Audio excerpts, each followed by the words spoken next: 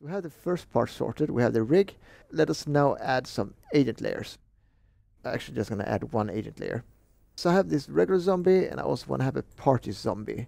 I'm going to drop down a tube and I'm going to set that to zero. I'm going to have a make it to polygon. Maybe And the scale so and then I'm going to drop down the transform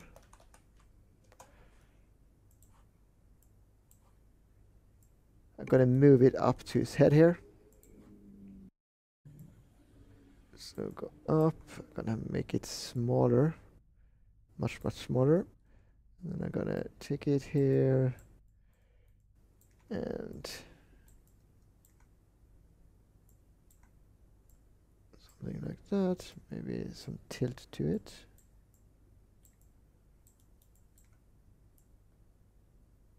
Something like that so now you're gonna have like this little party hat and he will be the fun zombie so let's also drop down a null and I'm gonna say out party hat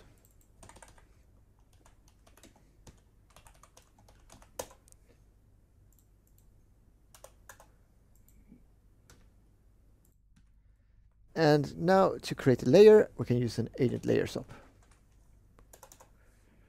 So I'm going to click that, and now the agent disappears. We see the mocap biped 3, so let's just go to hide other objects. So now it just disappeared. What happened? And that is because we defined a new layer. We haven't told it to turn on any geometry. It's just called new layer. First of all, let's call this party zombie. Make sure you don't have spaces here, by the way, because that's going to give you problems later. But what I want to have, I want to have the layer we have here, because it creates the default layer here. So we call layer name default. So I want to use that layer and then I want to add to it. And then you can just say source layers. So I got to say, okay, use the default layer. And now I want to add something to this default layer. So then I can go, you see I have these layer bindings. I can click this plus. And the first thing here, transform name, lets me define what joints I'm going to attach it to. So let's go and find the head. So here is the head. And now our agent have this weird thing on his head. This is a collision shape that gets created automatically when you create an agent. I will talk more about collision shapes later, so let's ignore this for now. Then I need to click add shape, and this will add a new shape to our shape library and then I can point to this party hat and I'm going to call this hat. So every geometry piece needs to have a name. And now you can see we have the party hat and it's attached to the head.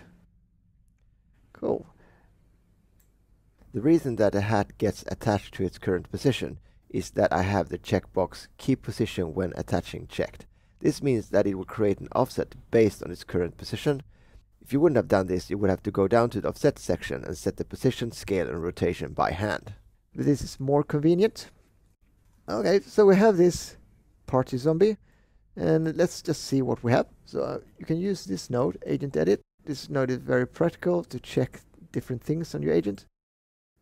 I have, for example, this set current layer. So I can set the current layer to default without hat. And I can also set it to party zombie. And now he has a hat. Right, okay. So now we have created a layer and it's added that new shape into the shape library. Let's just continue in this order. So next up is to create some clips.